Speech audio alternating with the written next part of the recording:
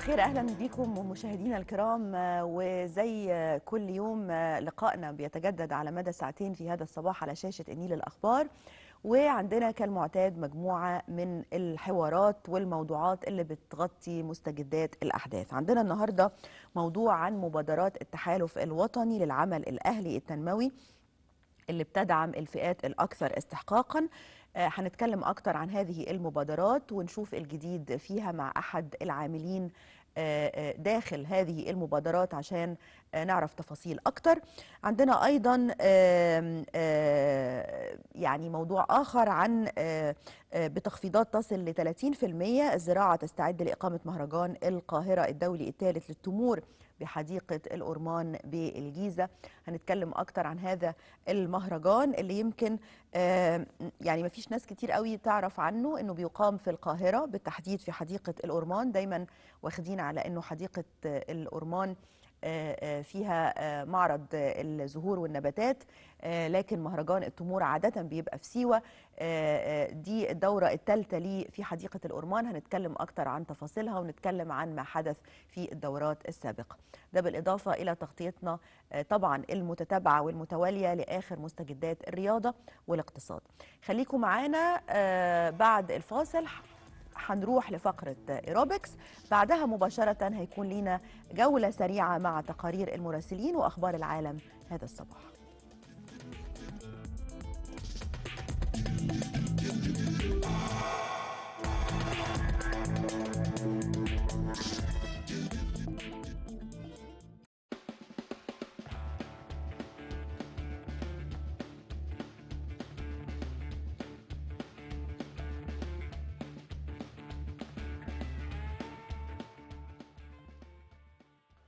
الخير معاكم كابتن عمرو طاهر. نتكلم النهارده عن موضوع عضلة البنج إزاي هناخد التمرينه الصح بالزاوية والحركات بتاعتها الأشكال الصحيحه بتاعتها الصحيحة.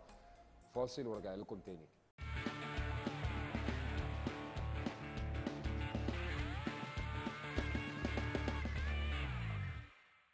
ورجعنا لكم. أول حركه النهارده هنلعبها في تمرينة البنج البنج البار العالي. البار العالي أول حاجة بنعملها بنظبط مقاس الطول على حسب الطول بتاعنا. نرفع الجهاز ونحاول بقعد وافرد ظهري وأمسك الزاوية الصح من أول العلامة يكون الاتنين في مستوى ايد بعض وبطلع وبنزل اسفل رقبتي وبطلع تاني واحد اتنين وانظم نفسي. تلاتة أربعة خمسة ستة. أول حركة في الشكل هتبقى أربع مجاميع في 10 عدات دي هتبقى أول حركة في مجموعة البنج النهارده. التمرين الثاني في حركة البنج هنلعب البار الفلات تاني حركة على طول في البنج. بننزل ظهرنا مستوى الجهاز ظهري مفرود بمسك مستوى جسمي بطلع وانزل أسفل البنج واطلع تاني. اتنين. وانظم نفسي. أربعة خمسة ستة سبعة ثمانية تسعة عشرة. وهنكمل أربع مجاميع في 10 عدات. دي تاني حركة على طول في مجموعة ال bench. ورجعنا لكم تاني في حركة تالتة مع تمرينة ال bench وتالت حركة النهاردة هنلعبها في تمرينة ال bench. هنلعب بالبار الدكة الحرة.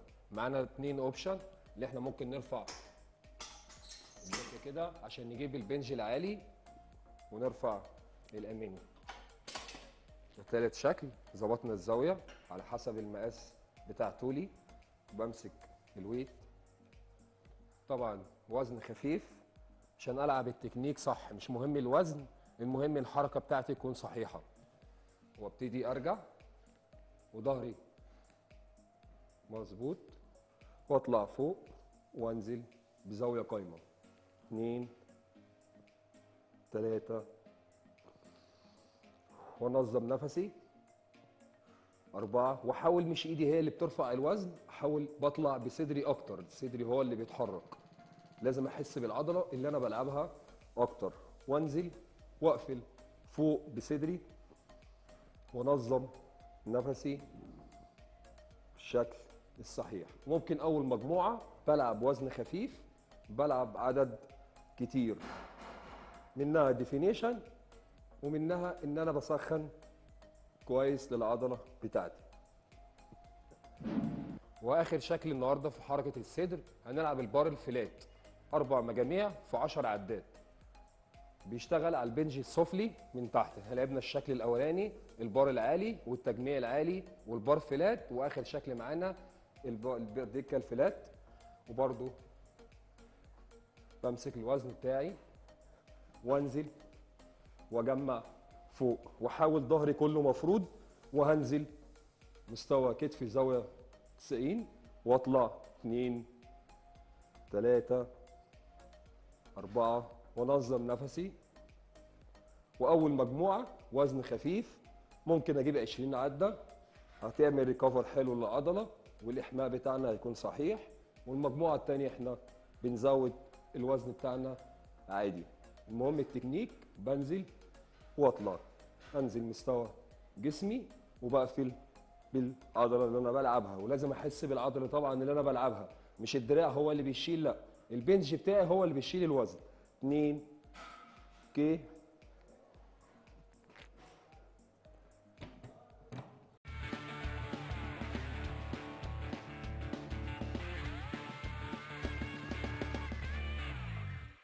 وبكده خلصت تماريننا. يا رب تكونوا استفدتم واشوفكم في الحلقة الجاية إن شاء الله.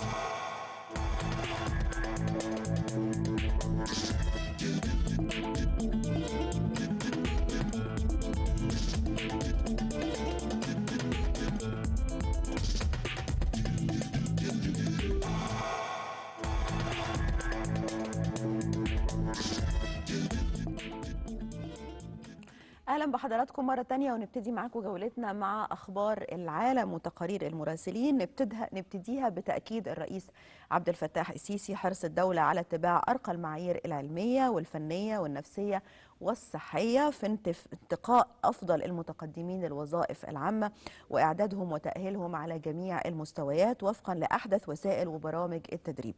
جاء ذلك خلال مشاهدة الرئيس السيسي جانبا من اختبار المتقدمين للالتحاق بعدد من الوظائف في الهيئات التابعة لوزارة النقل. نشوف تقرير.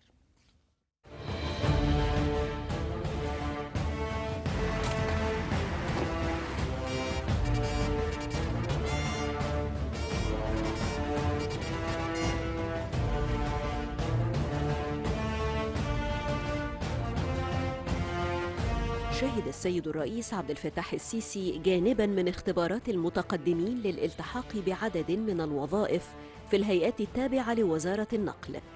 وهي الاختبارات التي تتم بالتعاون مع الأكاديمية العسكرية المصرية لتعزيز جهود اختيار أفضل الكوادر والكفاءات من المتقدمين.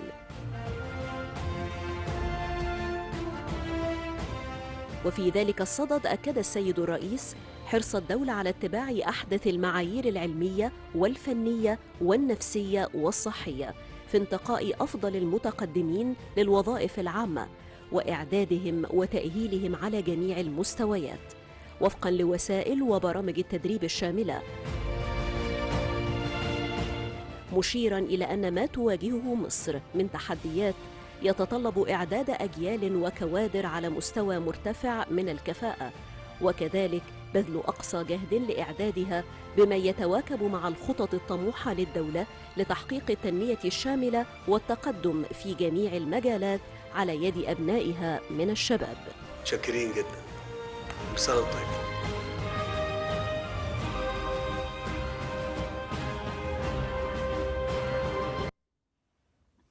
قام السيد محمود توفيق وزير الداخلية بتكريم عدد من أسماء الشهداء والمصابين والمتميزين من رجال الشرطة وتسليمهم الأنواط التي صدق رئيس الجمهورية على منحها لهم وذلك خلال الاحتفال الذي أقامته الوزارة بهذه المناسبة. نشوف تقرير.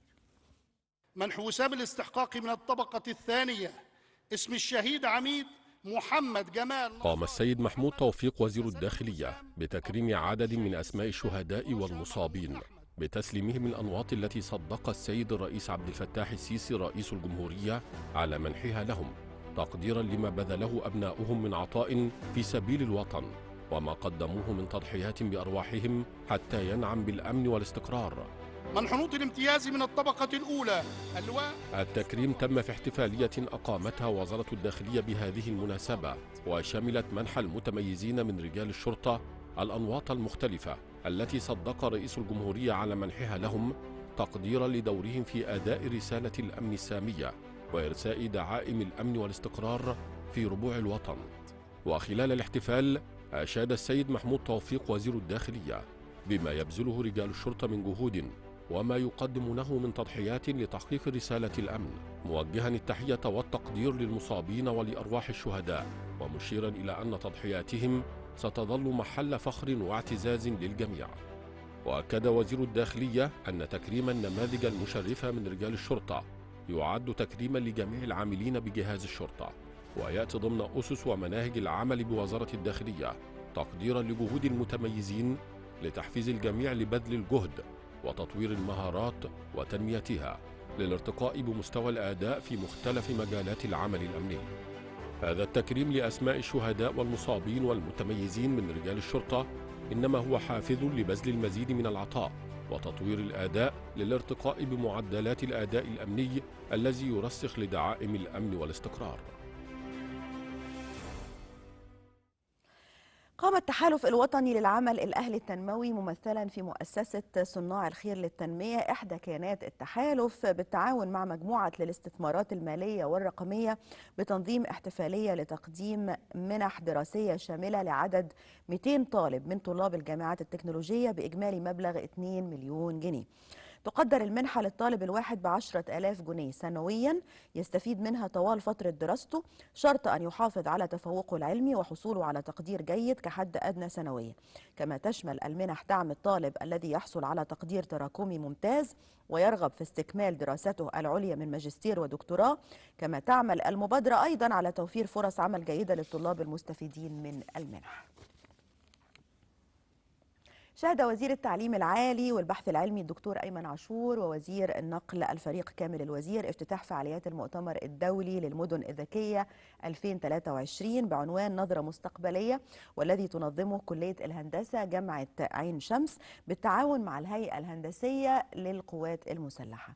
نشوف تفاصيل أكتر في هذا التقرير. رؤية مصر في التوسع في تصميم وتنفيذ المدن الذكية باختيار العاصمة الإدارية لاستضافة فعاليات المؤتمر الدولي للمدن الذكية حيث تعد أول مدينة ذكية في مصر. المؤتمر يمثل فرصة لتبادل الرؤى والأفكار العلمية حول استثمار التكنولوجيا الحديثة في المجالات المختلفة وتوظيفها لتحقيق جودة حياة أفضل للأجيال الجديدة.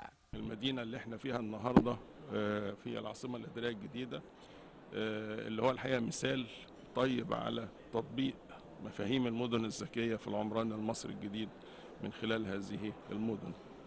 دور التعليم العالي والجامعات والمراكز البحثية في دعم هذه المدن من خلال البرامج التعليمية اللي إحنا أولا بنقدمها لأولادنا الطلاب والمشروعات البحثية اللي بتتم من خلال مداخل حديثة آه، لربط التعليم والبحث العلمي باحتياجات المجتمع وخطط التنمية في الدولة. المدن الذكية هي الذراع الفني للجمهورية الجديدة ومن هنا تأتي أهمية المؤتمر الذي يناقش وضع رؤية مستقبلية لفكرة المدن الذكية والتي شهدت تطورا كبيرا حيث أن التطور العلمي والتكنولوجي الذي طرأ على تصميم المدن الذكية يجعلها نموذجا واعدا في خدمة المواطنين.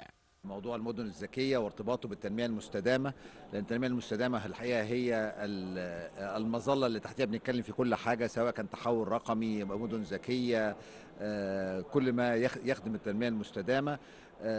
وحتى ما يخدم قضية التغير المناخي بنتكلم دايما آه، في إطار واحد من آه، آه، آه، معاه فخور بهذا الحدث وهو هيبقى مؤتمر الأول لكن أعتقد أنه هيبقى آه، سنة آه، يعني هننتهجها في السنين القادمة في نفس الموعد في أجندة ثابتة.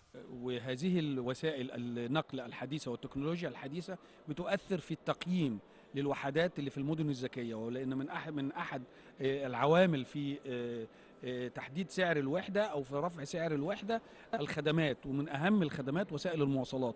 فبالطبع النقل عليه عامل كبير جدا في بالنسبة لسعر الوحدات وفي في المدن الذكية أو غير الذكية.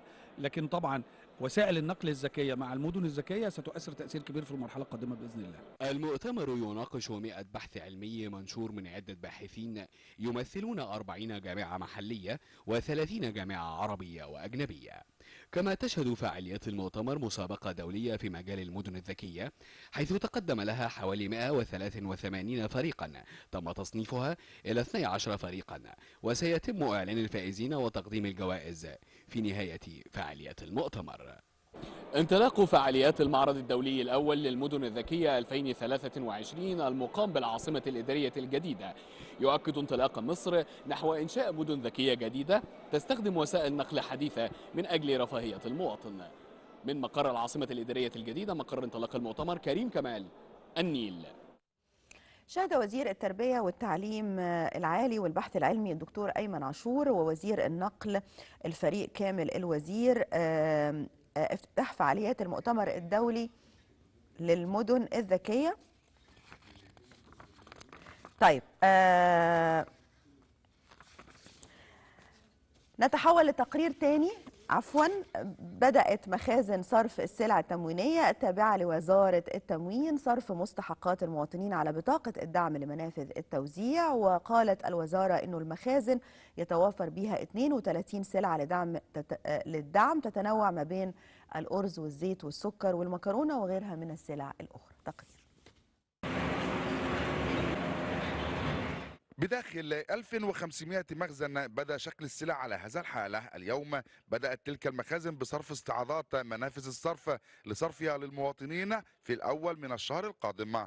إحنا آه، بنصرف حاليا في آه، الاستعاضات على مستوى محافظة بني سويف من شمالها لجنوبها آه، الاستعاضه اللي هي يقدر يدخل بيها إن شاء الله في أول شهر ثلاثة عشان يبدأ يصرف من واحد ثلاثة إن شاء الله.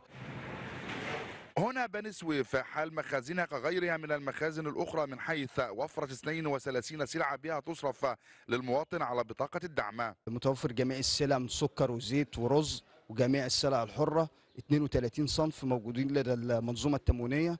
بيجي التاجر والتاجر جمعياتي بيصرف النسب المكررة.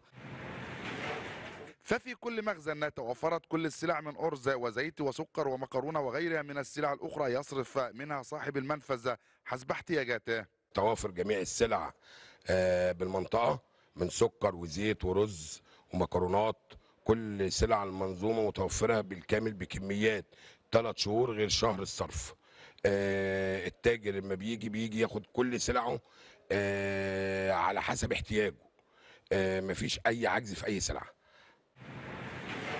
كل ذلك جاء وسط رقابة تموينية كبيرة لضمان وصول الدعم إلى مستحقيه خاصة وأن الدولة تدفع ما يتعدى الأربعة مليارات جنيه شهريا. المنظومة بصفة عامة أسعارها معلقة دايما عند ال- التاجر التمويني. بكل الأسعار سواء كانت الزيت أو السكر أو الرز معلق كل الأسعار. وإحنا في حملاتنا التموينية بنركز على الإعلان على السلع التموينية المدعمة الموجودة عند التاجر التمويني.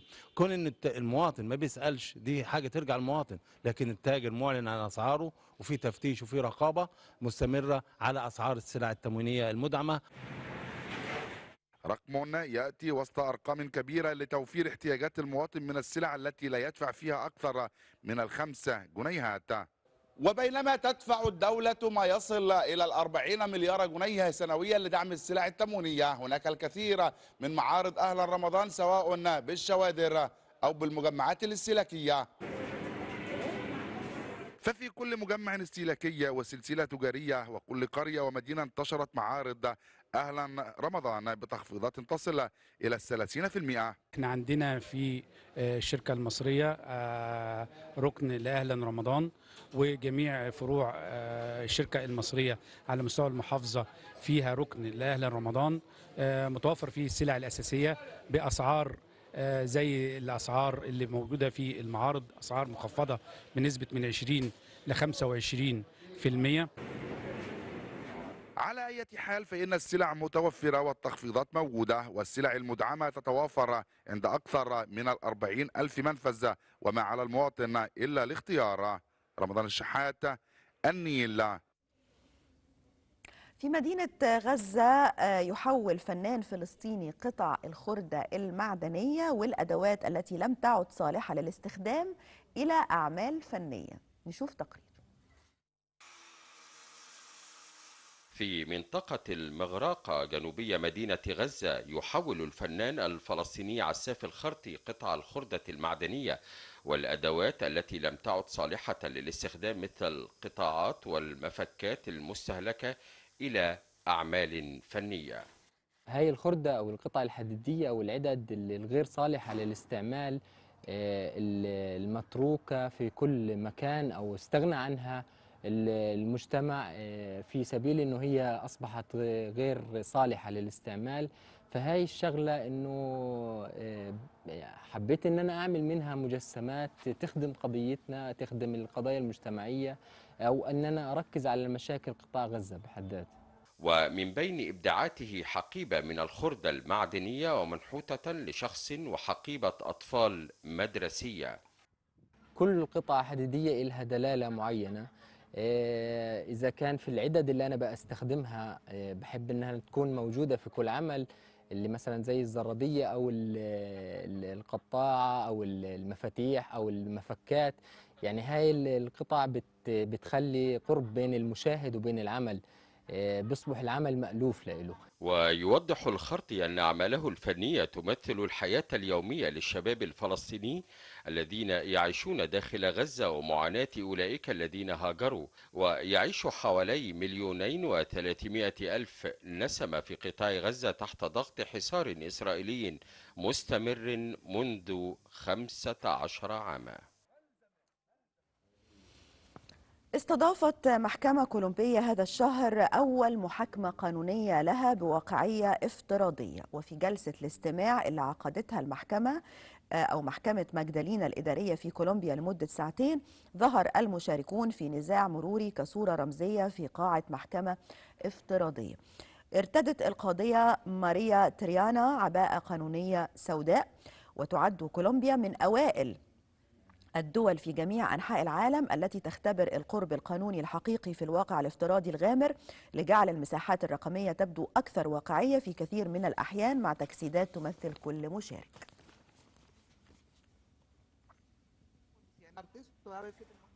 في الصين تمكن المهندسون من ابتكار روبوت لتسهيل عملية الصناعة وقد تم تصميم الروبوت على شكل ذراع يمكنه التقاط وحمل المعدات باستخدام تقنية التحكم فيه عن بعد. تم استخدام تقنية الذكاء الاصطناعي أيضا في ابتكار هذا الروبوت وهي تقنية تقلل فرص عطل الروبوتات.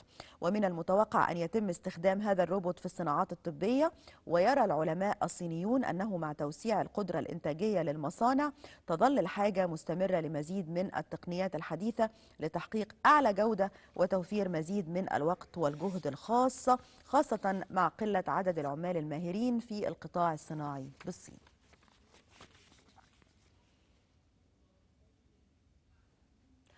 تعد ماليزيا بلدا غنيا بالتنوع البيولوجي وبه مجموعة كبيرة من الزواحف مما أدى إلى التفكير في افتتاح أول مقهى لهواة تربية الزواحف في كوالالمبور. شوف تقرير. في ضواحي كوالالمبور يقدم مقهى ماليزي الحلويات مصاحبة بصوت فحيح الأفاعي وذلك لإعطاء فرصة لمرتادي المقهى ومحبي الزواحف للاستمتاع بتناول كعكاتهم وفطائر الوافل إلى جانب السحال والثعابين. المقهى الصديق للحياة البرية والذي افتتح للجمهور في ديسمبر الماضي مليء بالزواحف التي قام صاحب المقهى بتربيتها وجمعها على مر السنين على أمل أن يكون هناك موقف إيجابي من الناس تجاه الزواحف التي تعتبر في العادة غير جذابة. أتمنى أن يرى الجميع الزواحف وكأنها نوع من أنواع الحيوانات الأليفة التي يمكن تربيتها في المنزل مثلها مثل الكلاب والقطط. يتيح المقهى الصديق للحياة البرية لمرتاديه فرصة التفاعل مع الزواحف أسوة بالعديد من مقاهي القطط المنتشرة في قارة آسيا. In لطالما كنت مهتمة بالثعابين والسحالي وهنا في هذا المقهى يمكنك أن تتفاعل مع الزواحف وهي تجربة ممتعة حقا. يتكون المقهى من العديد من الصناديق الزجاجية المغلقة التي تحتوي على أنواع مختلفة من الزواحف وهناك العديد من الموظفين الموجودين للإجابة عن أسئلة المهتمين بتربية الزواحف فضلا عن ضمان سلامة كل من الحيوانات والزبائن. أخبرني صديقي مؤخرا أنه اشترى ثعبان من هذا المقهى وفكرت في المجيء هنا لشراء ثعبان مثله. تعد ماليزيا بلدا غنيا بالتنوع البيولوجي وبه مجموعة واسعة من الزواحف مثل الثعابين والسحالي والتماسيح التي يمكن العثور عليها في أدغاله الاستوائية الكثيفة. وتلعب الزواحف دورا مهما في أي نظام بيئي إضافة إلى أدوار أخرى مهمة في السلسلة الغذائية للحياة البرية. خبرنا الأخير عن حالة الطقس حيث يتوقع خبراء الأرصاد الجوية أن يسود اليوم طقس مائل الحرارة نهارا على القاهرة الكبرى والوجه البحري والسواحل الشمالية وجنوب سيناء وشمال الصعيد. حار على جنوب الصعيد بينما يسود طقس بارد ليلا على أغلب الأنحاء. وبالنسبة لحالة البحر المتوسط تكون معتدلة وارتفاع الموج من واحد ونصف متر إلى مترين. وبالنسبة لحالة البحر الأحمر تكون خفيفة إلى معتدلة وارتفاع الموج من متر إلى متر ونصف.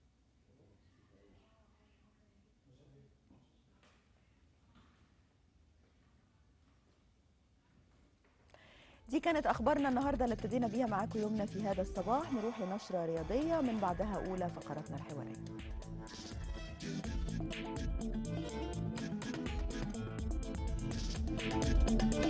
you.